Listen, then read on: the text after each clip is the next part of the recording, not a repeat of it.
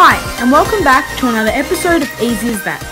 Today I'm going to be showing you how to get a song off a music platform and then put it into iMovie. Now, this does require screen record enabled on your iPad, so if you don't have that, be sure to check out my video in the description showing you how to enable it.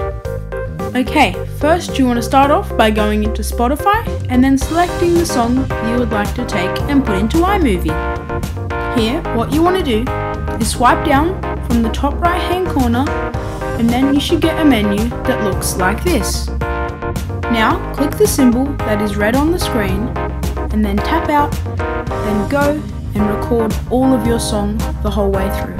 Once you're done, go back into that menu, click the same button to end the screen record. Now, go into iMovie and click Create New Movie. Here, select the video with all your music on it, and there, it's in iMovie. Don't forget to leave a comment if you need any more help or would like to request another thing for us to fix.